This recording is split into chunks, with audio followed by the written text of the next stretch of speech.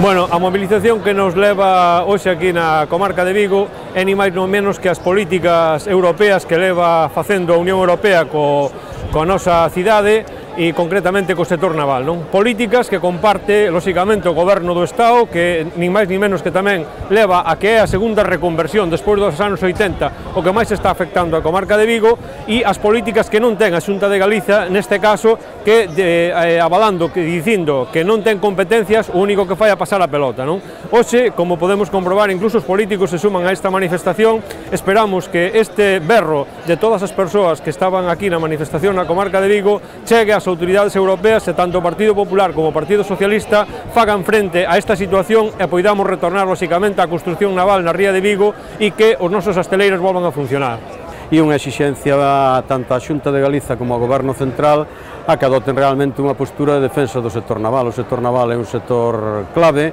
é un sector que, que ten hoxe un nivel de alta, de alta tecnoloxía, por eso é tan competitivo e por eso o resto de, dos países da Unión Europea donde se producen barcos teñen tanto interés en presionar e en facer este tipo de denuncias para realmente eliminar do mercado que é o sector naval vigués, non? Eu creo que iso é o que está no fondo de todo isto o que está a ocurrir no ámbito da Unión Europea, non? Tarlis neste momento significa paralización total dos asteleiros e iso que nos leva a que non haya nova contratación e, e afundir realmente o, o sector neste momento. Non ten sentido eh, que mentras eh, se tome unha decisión en Europa sobre se o Tarlis realmente é unha competencia desleal ou non, pois non se poda acceder a ela, esa bonificación fiscal, e non se poda estar contratando neste momento. O responsable desta situación, desde logo, é a Comunidade Económica Europea, desde que entramos en Europa están perjudicando sobre todo a Galiza, Perjudicaron na pesca, no agro, ahora queren perjudicar co sector naval, un sector competitivo que queren cargalo, e nós despois da manifestación doxe, da boa resposta que hubo por parte da cidadanía de Vigo e da comarca, pois cara a setembro pois temos pensado pois posiblemente convocar unha folga xeral na comarca de Vigo e seguir facendo eh, movilizacións. Naval solución.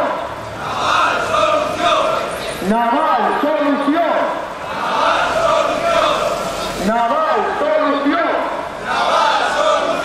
Os, os galegos corremos o peligro de que sectores básicos da nosa economía pois como consecuencia de decisións que se toman no ámbito da Unión Europea pois teñan que desaparecer ou está o que condenalos á, á marginalidade cunha perda moi importante de emprego e de riqueza para o país. Eh, é fundamental, polo tanto, a mobilización social pero é tamén moi importante que quen ten a responsabilidade política tanto no ámbito da Xunta como no, no ámbito do Estado pois adote unha postura de defensa do sector. Esta cidade sempre respondeu entre situacións eh, complicadas como a que estamos vivindo neste momento. Nos esperábamos que, que toda a sociedade e respondera. Creemos que o mensaxe lle chegou, comprende a situación que se está dando, realmente nos estamos xogando a cara a cruz a existencia ou non do, do sector naval e creo que a resposta é un refreso de que sí chegou o mensaxe e de que realmente está concienciada co, cos problemas que ten o sector naval neste momento.